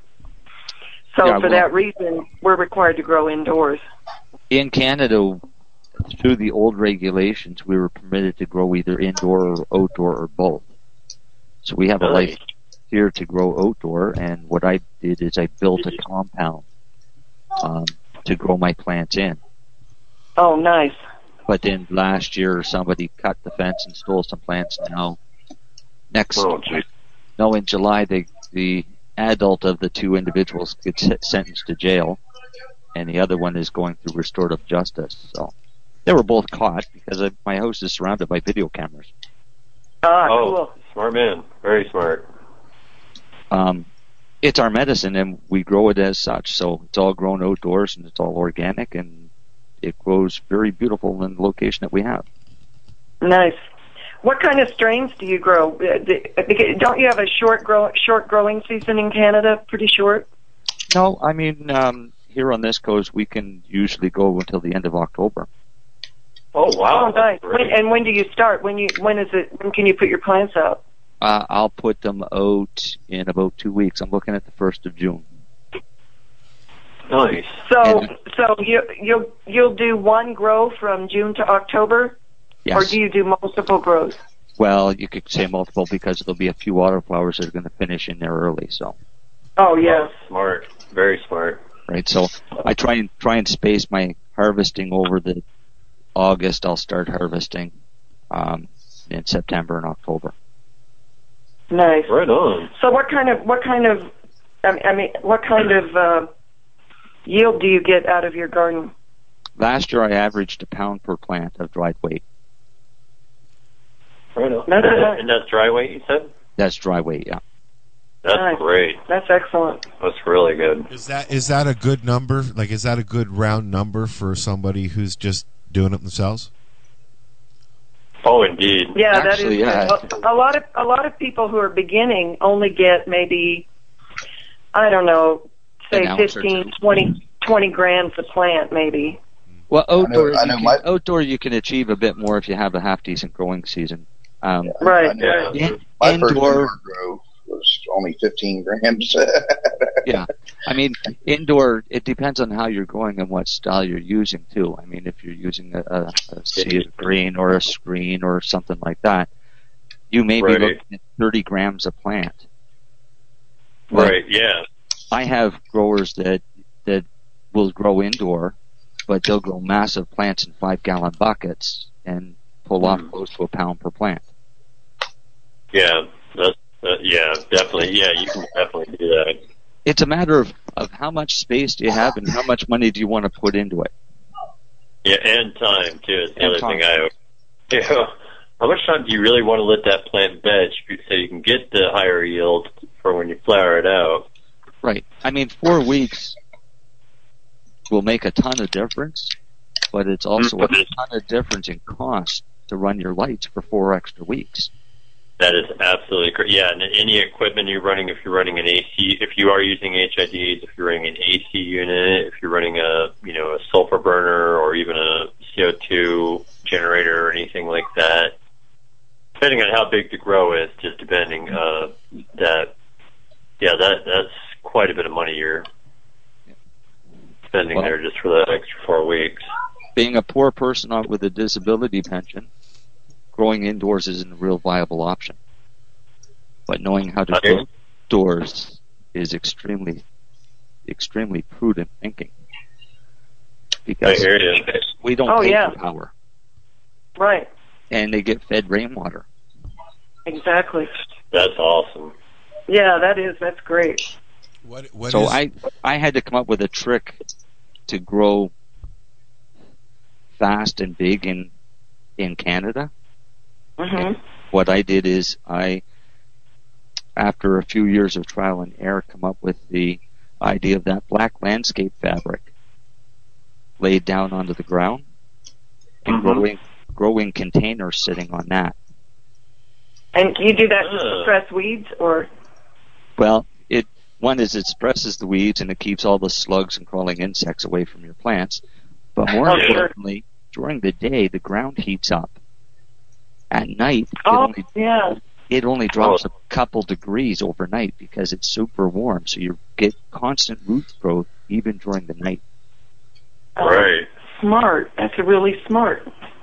So um, a I'm couple gonna- years, I'm going to ago, use that one of our tips to people. That's a good one. Yeah, it is a good tip. A couple of years ago, I did Durban poison, and um, the problem was every every week I had to go out and cut them back because I had Mhm. eight foot fence. When I finished them, they were still twelve feet tall, Nice. so they grew tall fast. That's great. That's really good. That is. I never got to see the outdoor plants that I was growing to finish. I was in Florida at the time and had four outdoor, and uh, Popo showed up, and locked me up. it was about ten foot tall when they found them. And you guys, Wow. are, you guys are developing a lot of your own strains as well. Yeah. Yeah, we got quite a few. We've uh, Are you- done crosses that were. Are you playing with Uh, auto grow- flowers? I've, no, not yet. I've grown a couple of autoflowers, but uh, unfortunately, no no one here sells or or any of the other growers because I trade seeds with other growers all the time, uh, and nobody I know has autoflowers at this point. Unfortunately, that, that's something I would like to get a hold of more, but it's just no dispensaries, uh, medical or recreational sell them, and no growers I've come across yet have them either. See, auto That's flowers. Oh, go Yeah, ahead. autoflowers are becoming really popular in Canada, especially with a lot of the outdoor growers, because you can end up running two crops a year. Yeah, Oh, yeah, absolutely, absolutely, versus yeah. one. There's there's a lot of advantages to autoflowers. I mean, there's some disadvantages too, but for people who want to have a plant that's kind of a you know plant it, feed it, and forget it, that's I'm- autoflowers. I'm thinking- they don't. Al is a perfect candidate to to build a closet with an autoflower. In his residence, yeah, he is. Yeah. I'd be He could take a part of his bedroom closet, put an autoflower in it, You're and gonna probably get me get busted, off of it. man. Oh yeah, sure. Well, we we we grow in our basement, and I'm lucky enough that I have a 2,000 square foot basement, and it has nine foot ceilings, I'd, which I'd, is unusual for a I'd like basement. to. I'd like to experiment in a box as opposed to a closet in a, in a grow box. Well, and we we grow in grow tents down there, and we Okay.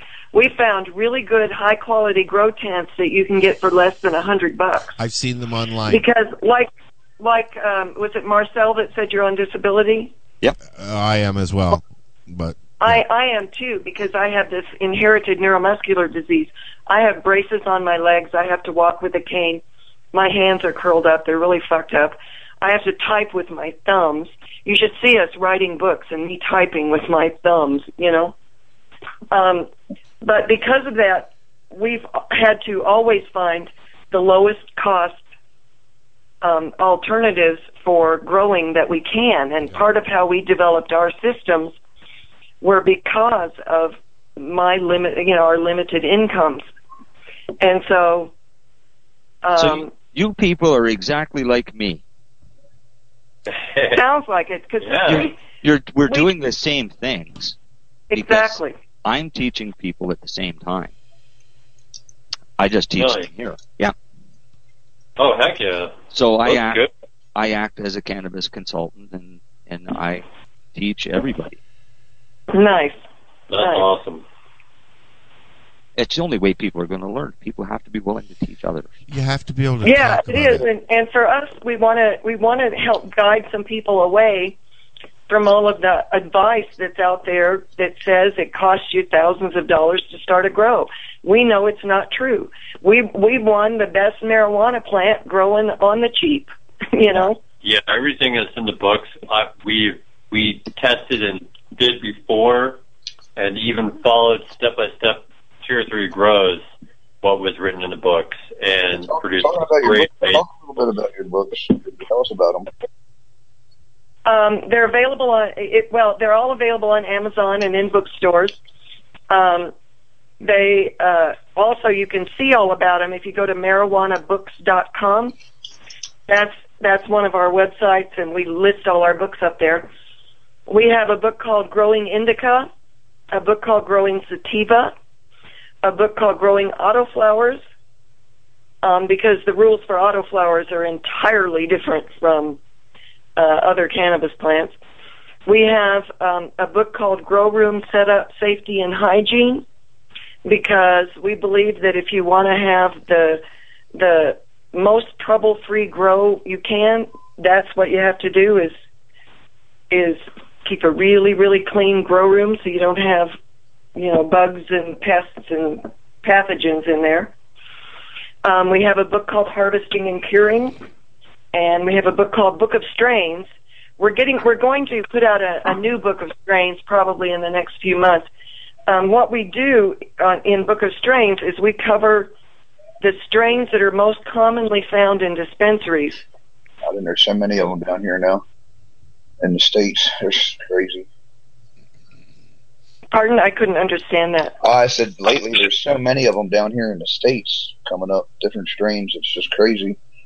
Yeah, there are. So we we try to we try what we do is we kind of do a survey of a few hundred dispensaries and see what strains they carry, and then we find the ones that are the most common. If the, if it's one that's only carried by one dispensary or two, we won't cover it necessarily, but we cover the most common ones so that people can um, you know make some decisions about what they want in a strain.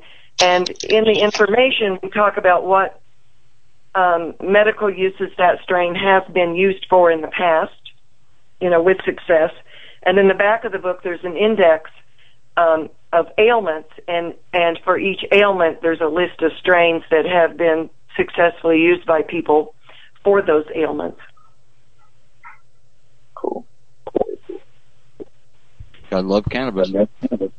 yeah, we love our weed. Ju- Justin and I are related. I'm his mother, and that- I'm an old. Cool mom. I'm an old. I'm an old lady. I'm 65, That that and Not old. that's not Well, that old.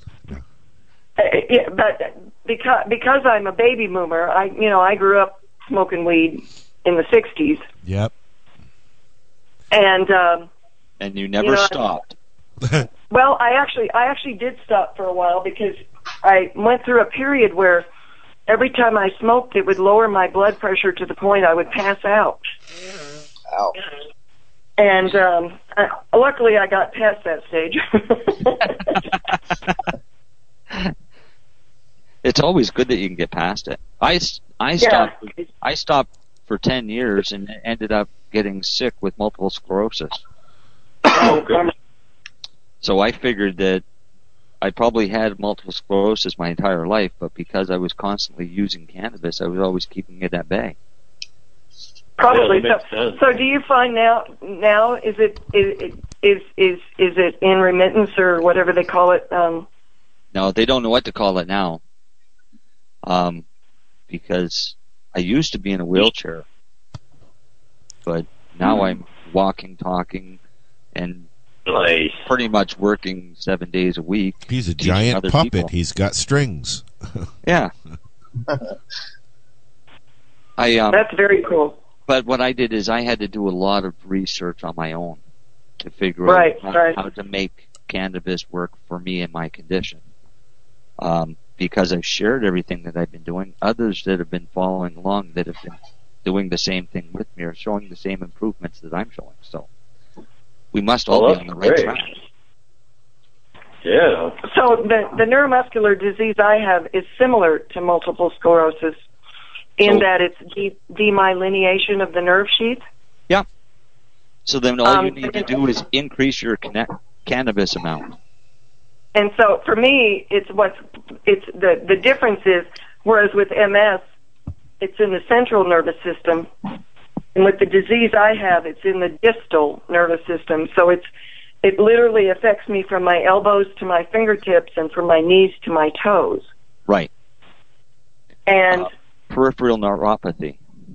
exactly, it's called it's called um, it's the actual name of it is Charcot-Marie tooth disease, but they also call it hereditary motor sensory neuropathy. Now, do you only smoke cannabis or do you ingest it as well? Um, I ingest it sometimes. Um, I'm really bad at remembering to, in- you know, um, it, because of the amount of time that it takes for it to get active in your system and and be working. Right. I I just I don't remember to do it in time, and so I end up I vape it. Well, what I do is I ingest high doses, and I smoke all the time. But um, usually in scheduled doses, around 7 a.m., noon, 4, 7 or 8 at night. Have another ingested And dose. and what what form do you ingest it in? I I take pure cannabis oil. Ice cream. Yeah. Oh, okay. I do that too. No, I take pure cannabis Because oil. I I know I know some people who put cannabis oil in capsules and swallow it. Right. Yeah, mine go in capsules, but before they go into capsules, it's pre-mixed with hemp seed oil and liquid vitamin D. Ah. Um, having MS means I'm also deficient in vitamin D, so I combated that by adding the vitamin D to the actual cannabis and hemp seed oil. Oh, okay. That's smart. Yeah. Omega three fatty acids in hemp seed oil actually open up the CB2 receptors, so you get more pain relief from your cannabis ingestion. So, so when you when you make the uh, what method do you use to make your cannabis oil? I I um, the- the same method everybody else uses, except I use uh, Canadian isopropyl alcohol. Oh, okay. Okay. All right, so I and the reason I went with isopropyl is because isopropyl is both a polar and a non-polar solvent, so it extracts all of the cannabinoids off the plant, so you actually get a full cannabinoid profile in your oil with the terpenes, Nice. flavonoids. So, you, are you able to get what a ninety percent alcohol? 99.9 99.9%.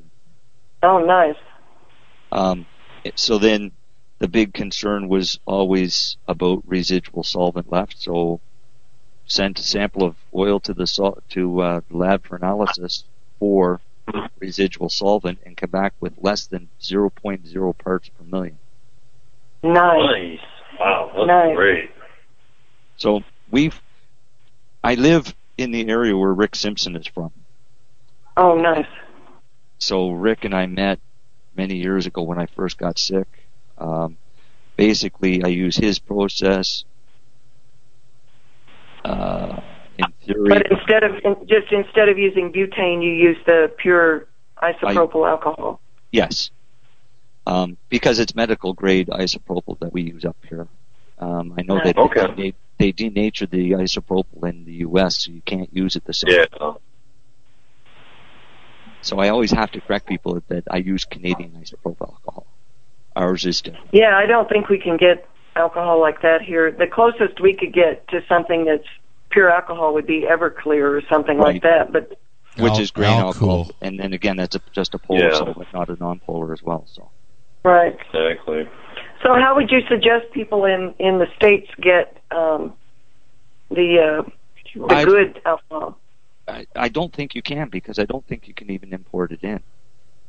Um, Yeah, I was gonna I so think- normally, yeah. in this, for for the for patients that I deal with in the states, I usually let let them know that go ahead, alcohol, um, and then still mix it with hemp seed oil before you start ingesting it. I would think that moonshine would work really well. That's grain alcohol. Yeah. And I mean, I, I I'll make tinctures with with grain alcohol or moonshine, Yep. when I make tincture or butter or anything like that, I make it from the oil that I made from the isopropyl. Ah. So I don't bother getting chlorophyll. I don't get any green taste. I don't have anybody getting sick and gagging off of it. Um, using the oil in that method, basically all you can taste are the actual cannabinoids. Nice. Wow, that's great. So it's it's a nice refined process, and and I can make medicated chocolate ice cream, and nobody else can. Yeah. I want some medicated chocolate ice cream. Ooh, ice cream. Coming for some. Coming for some. Yeah. That good old fashioned medicated goo. Yeah, but um, I don't like the taste of cannabis, and I had to figure out ways that I could be able to ingest cannabis without getting sick. No, I'm the same way. I always, all of these people that I meet or that I read about who are cannabis connoisseurs who love the taste and the smell, and, and actually I do like the smells, but um, I have never tasted cannabis that tasted good to me. I won't say that because I've grown some nice stuff that tastes good. Um, I don't like the smell of burning cannabis, and I don't like the taste of chlorophyll. I love the smell of flowering. Yeah. I like the smell of some. Right now we have some growing that smells really sweet.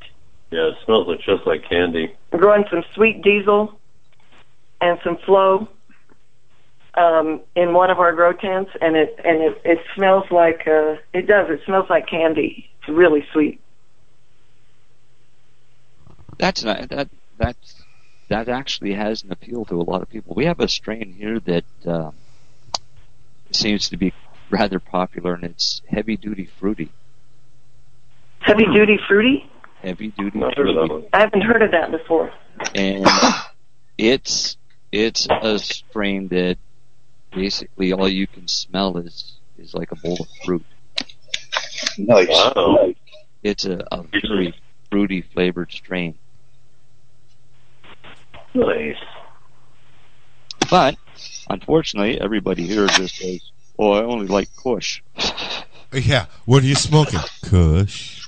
Kush. Um, uh, Amy just. Of course, I, I, I Yeah. think that's the traditional Canadian smoke there, I have to say. I think it's because they don't realize that there are things other than Kush. Well, yeah. Mo- Wizard, yeah. I mean, uh, you could turn around and you could give them something like a, a, a good organic Colombian gold and tell them it was a Kush, and they'd be really happy. Uh, Yeah, I think you- I think you're right. And and here in the states too, for some reason, OG is Well, every everything you get. You know, or everybody says they want OG. yeah. yeah, it's, it's I grew OG last year, and I won't grow OG again. It's just a name. I mean, people. That's what people Yeah. identify. Yeah, Uh, I haven't tried anything that was OG or Kush that I liked. people identify I- the, the the word Kush with a good strain, and and Yeah. uh, it and now it's a moneymaker. I mean, uh, Yeah. everybody from the guy down the road to the dispensary in the city uh, pushes the Kush. They do the Bubba, the Pink, Yeah. you know, the the OG Oh, yeah. and and but as far as like I live in the country, so you know, as far as the as the guy down the road is like what I say uh, goes to sell to to make money uh, when somebody says what do you got? they say it's a kush and that way you go, okay I'll take that. Because if you say it's it's Yeah. a it's a I don't know what it is uh, maybe I'll go to the other guy down the road you know Right. so it, it's just a name Well, you know, I'm. I'm so old that there was no such thing as different strains. There was just weed. Oh, That's, yeah. that's the way it was when I started. It But was weed and strains hash and started- oil. That's what we got. You got three choices. Yeah. you know. Um, yeah, when I started, there was no such thing as having a dispensary that you could walk into and, No. Yeah. Yeah. Yeah. select. Yeah. Oh, yeah. Well, when I when this, I mean, I'm I'm so damn old that you know, you bought a baggie about it that had about an ounce in it. and It was five bucks. Yep, Um, and you measured it by the finger. Yeah. Well, but you know what? It had, it had, it had stems and seeds and shit in it. You know what? We used to get It was nickel bags, which were a quarter ounce, Yeah. dime bags, Oh. which were a half ounce, Yep. and then full ounces for twenty dollars. I used to get, uh, and then and then when it, it went up to about sixty for an ounce for a long time in Toronto. Yeah. Right? And and uh, but you could get. I mean, now considering in Toronto now, even at a dispensary, you're looking at between two forty and two eighty for a for a good premium foo-foo bud, as I call it, or a Yeah. Kush. Yeah. Uh, uh, I mean, really, the only difference there, though, is um, somebody who you're trusting their knowledge in what they're doing has verified that that's what that is. Because Right. Yeah. so unless you put it in the ground and you know where that seed came from and you know exactly what it is and it's been tested and blah blah blah blah blah, you don't know what the fuck you're getting. Mm-hmm. It could be anything. Yeah, you're right. You're absolutely right. You have no way of knowing what it, they they they can say it's this and that or Cindy ninety nine or whatever, and yeah, yeah. who knows if it is. Justin actually has a, uses a method where he creates his own seeds because once he's got you know plants that he he likes and that he's certified, you know the origin and all that. he what he does is on the lower branches of the females after he uh, we we never use feminized seeds ever um and so when we plant we always end up with some males or usually do and so as soon as he knows they're males he'll separate them into a different area and he'll collect the pollen from the males. And then on the females he will use uh like q-tips or a, or a small brush and he'll hand pollinate the the bud sites on the lowest branches that don't get that much light anyway. Yeah.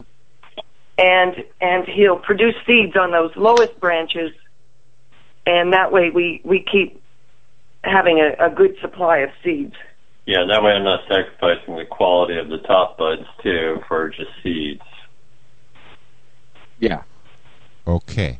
Uh, I know that, exactly. that's How many- like how way many- over how my many strains head, of man. seeds do you have Oh shoot, I, I don't know. Thirty? Over thirty.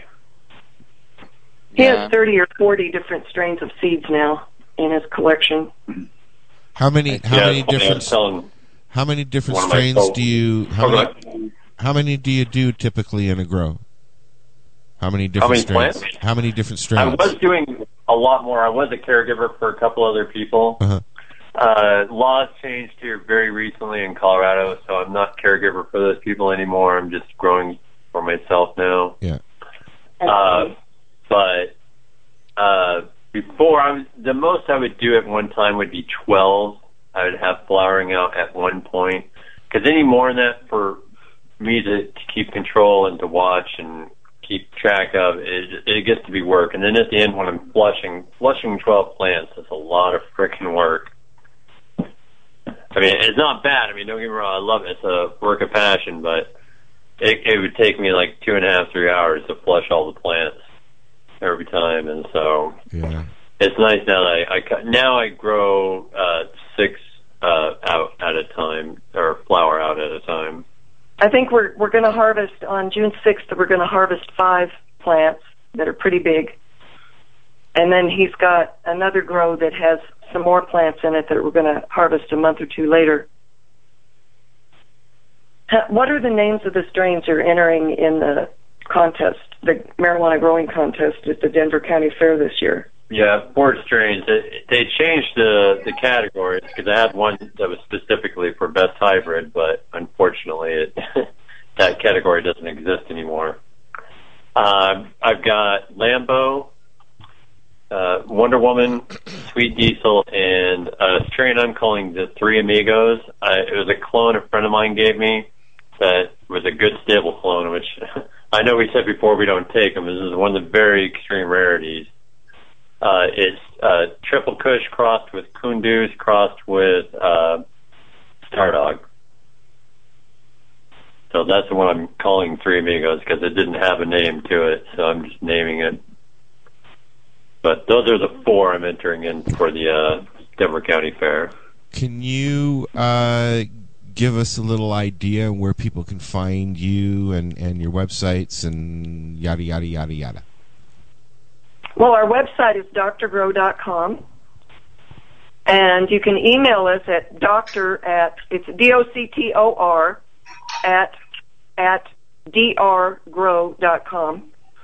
Um, we own bo- both versions of drgrow.com, so no matter which one they type in, it, the D-O-C-T-O-R G-R-O-W dot com forwards to D-R-G-R-O-W dot com. So they can do that. And our, our email uh, address, he, Justin is justin at drgrow.com. And it's D-R-G-R-O-W. And um, I'm Toria, T-O-R-I-A, at drgrow.com. And then you can also email doctor at drgrow.com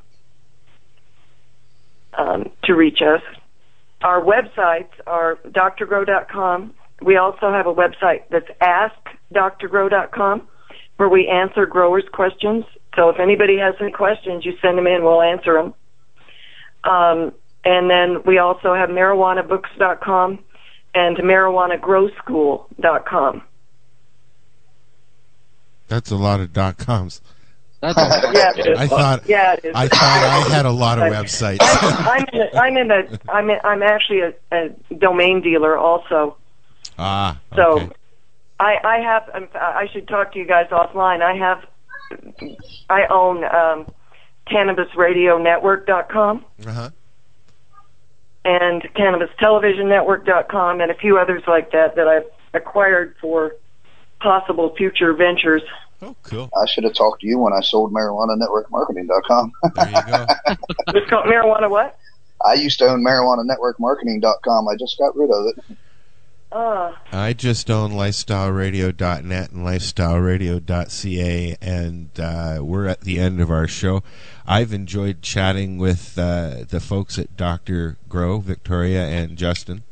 Um, and uh, I, I'm just I'm overwhelmed with with just absorbing everything that every everyone was talking about. It's like Information overload. Was well, that? I mean, I literally I get a pot, I put a seed in a pot, and if it grows, great, and if it doesn't, I try again.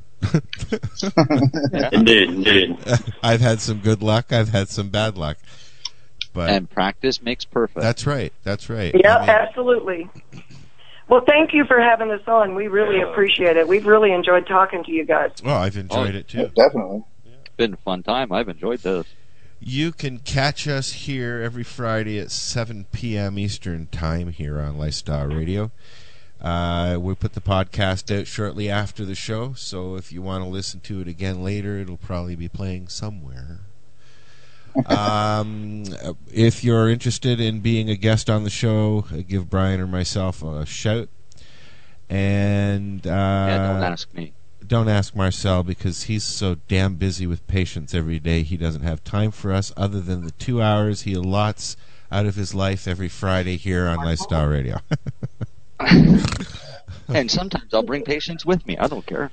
yeah, and and, and, and speaking of that, if you are a patient, we're going to start doing some uh, a patient testimonials, success, success stories, whatever.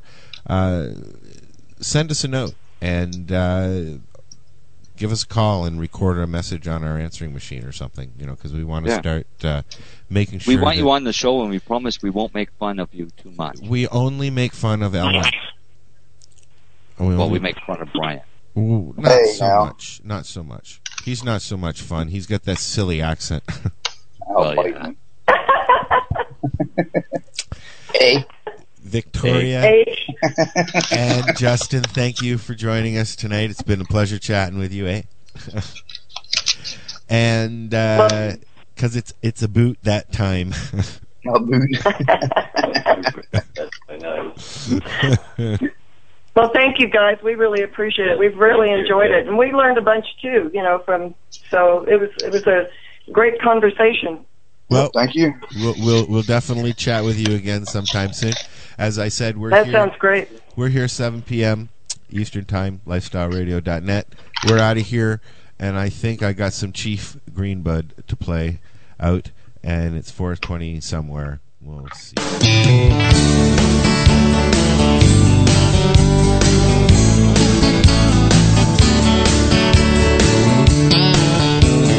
Watch the clock to smoke your pot. You should know you're not alone. If your grass is like molasses hydro grown, that gets you stoned. If you're counting the hours, watching the minutes for that special time when everyone hits it, take it from me, you're really not that far away. Roll me something fat and long, pack me a bowl, or fill me a bomb. It only comes twice a day, but I don't care. It's 420 somewhere.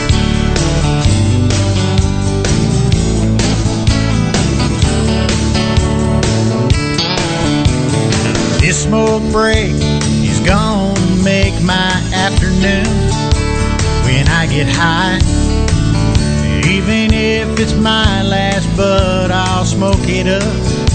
It'll be alright. I've been sitting here waiting for what seems like a year. My Jamaican connection said he'd meet me here. If the phone's for me, tell him he better be on his way.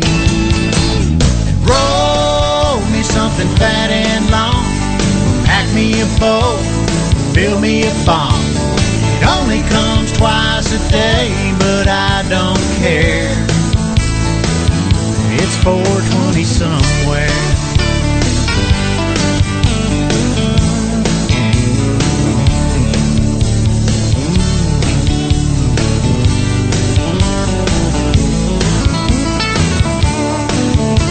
I spent all my cash, replenished my stash, but it's only a quarter or two. At a moment like this, I can't help but wonder what would Willie do? He'd say to fire that thing up. Roll me something fat and long.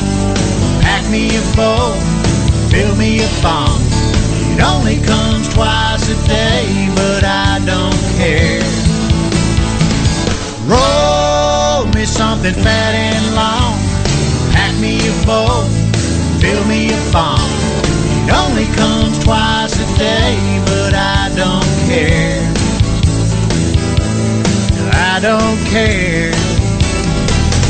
It's 420 somewhere.